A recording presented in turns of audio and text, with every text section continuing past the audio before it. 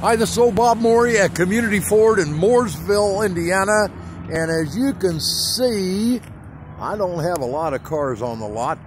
Uh, we have more than a lot of other places, but we don't have enough.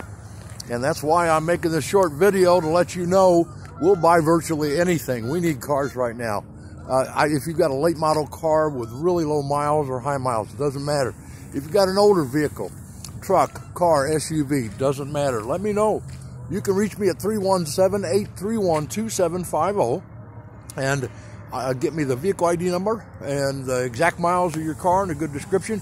I'll get you a number on the phone right away. Or text me. Again, Bob Morey at Community Ford, Mooresville, Indiana. We're just a little south of uh, Indianapolis. As you can see, I could use some cars in my lot. So let me know. Again, old Bob Morey at Community Ford, 317 831 2750. Thanks.